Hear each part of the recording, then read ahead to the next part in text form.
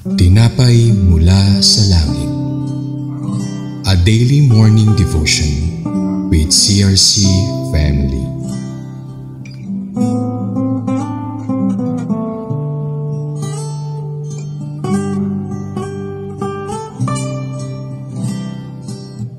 Isang mapagpalang umaga sa lahat ng nakikinig sa ating programang Tinapay mula sa Langit. Ako nga po pala si Sis Janica ng CRC Summerfield Daughter Church.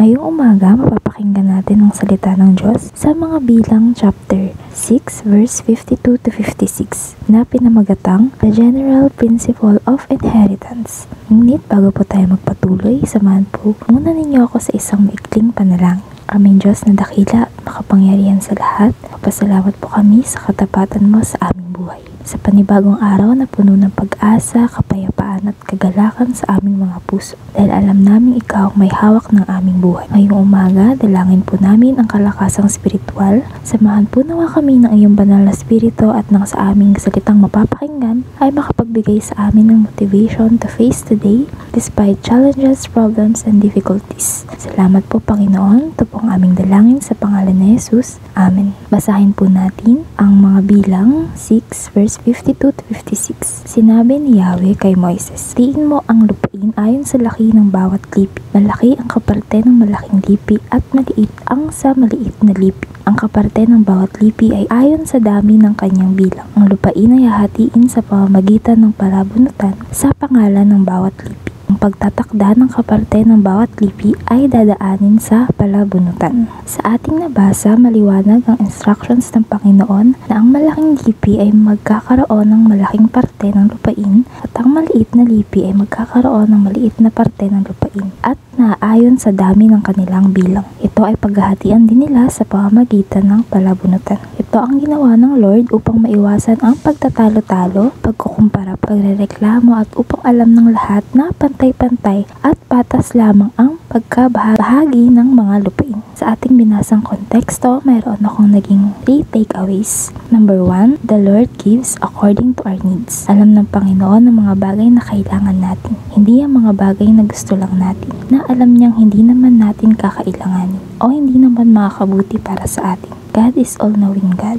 Sapat ang kanyang biyaya. Bago pa man tayo humingi, alam na ito ng Panginoon. Sabi sa Mateo 6 verse 31 to 32, Kaya huwag kayong mag-alalang baka kayo'y kapusin sa pagkain, inumin o damit. Hindi ba't ang mga hintil ang nababahala tungkol sa mga bagay na iyan? Alam na ng inyong Ama na nasa langit na kailangan ninyo ang lahat ng iyan. Number 2. The Lord is fair. He has no favorite but delights and gives favor to those who obey Him. Kaya tayong pagpalain ng Panginoon, higit pa sa inaasahan natin. Basta tayo lamang ay may masunuring puso at sumusunod sa kanyang mga salita. Sabi sa mga awit 37 bilang 4 to 6, Sa Panginoon mo hanapin ang kaligayahan at ibibigay niya sa iyo ang ninanais mo. Ipagkatiwala mo sa Panginoon ang lahat ng iyong ginagawa.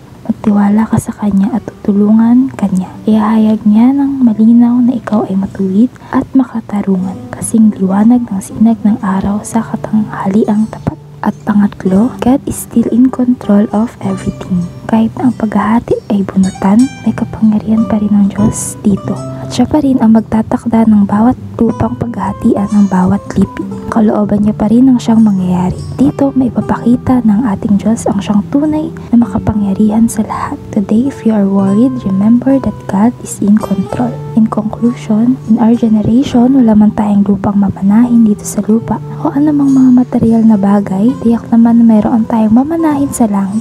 Salamat sa ating Panginoon at binigay niya ang kanyang bugtong na anak na si Jesus na ang sino mang sumampalataya sa kanya ay siyang maliligtas at magkakaroon ng buhay na walang hanggan. Sabi sa John 3.16 Ito ay higit pa sa kayamanang mayroon ng mundong ito. And we can pass it on to next generation until the day of the second coming of our Lord Jesus Christ. Sa tayo po muli ay manalangin. Aming Diyos, salamat po sa napakadakila niyong pag-ibig. Hindi namin deserve ito, ngunit you still give it to us. Hindi nawa namin makalimutan ang sacrifices ni Jesus sa krus para sa aming kaligtasan. Mas maging masigasig kami sa aming paglilingkod para kay Kristo. Tulungan niyo po kami dahil hindi namin ito magagawa ng sa sarili lang po namin. And use us, O Lord, to share your words to our family, friends, workmates at sa lahat ng aming mga kasalamuha ngayong umaga. Ito ang pinakamahalagang bagay na may share namin sa kanila. Muli ito po ang aming dalangin. Sa iyo po ang mataas na papuri at pagdakila sa pangalan